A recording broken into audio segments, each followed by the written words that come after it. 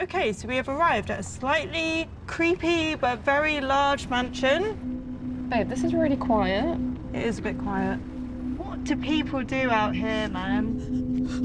This is where death happens. The Druids were much more peaceful people than the early Christians would have us believe. However, there was this one man, Lord Somerton, who was not so gentle.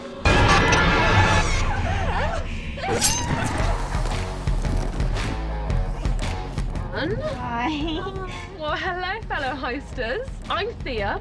Jokes. This is Louise. Talking about Yehan. And in this episode, we're going to be posing as sweet little caterers It's crazy. at a wanky commercial shoot. Hello? Whoa, Thea. Well, nobody's here. We've got loads of cameras for this. Hey guys, we've made it. Spy cams galore. It's Gonna be so sick! Oh my god. Look at all of this